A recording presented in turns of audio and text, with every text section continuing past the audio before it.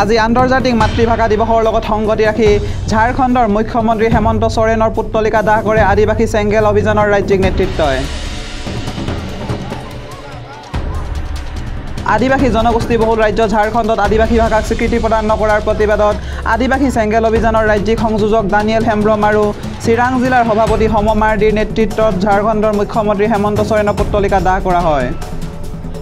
উল্লেখ্য যে দুহেজাৰ তিনি চনৰ বাইছ ডিচেম্বৰ তাৰিখত ভাৰত চৰকাৰে আদিবাসী অলচিকি লিপিক স্বীকৃতি প্ৰদান কৰিছিল যদিও আদিবাসী জনবহুল ৰাজ্য ঝাৰখণ্ডত আজি পৰ্যন্ত উক্ত লিপিক মান্যতা প্ৰদান নকৰাৰ প্ৰতিবাদত আজি মুখ্যমন্ত্ৰীগৰাকীৰ পুত্তলিকা দাহ কৰে সংগঠনটোৱে।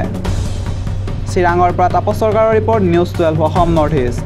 এইটো আমি আদিবাসী চেংগেল অভিযানৰ ৰাষ্ট্ৰীয় অধ্যক্ষ চালখান মুৰ্মুৰ নেতৃত্বত আমি ভাৰতৰ পাঁচখন ৰাজ্যত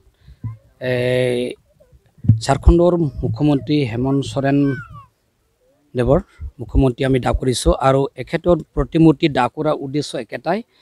মানে চাওতালী ভাষাটো সংবিধানত স্বীকৃতি ভাষা হিচাপত মান্যতা পোৱাৰ পিছতে ঝাৰখণ্ডত মানে বৰ্তমানলৈ মানে তাতে ৰাজ্য ভাষা হিচাপত মান্যতা দিয়া নাই।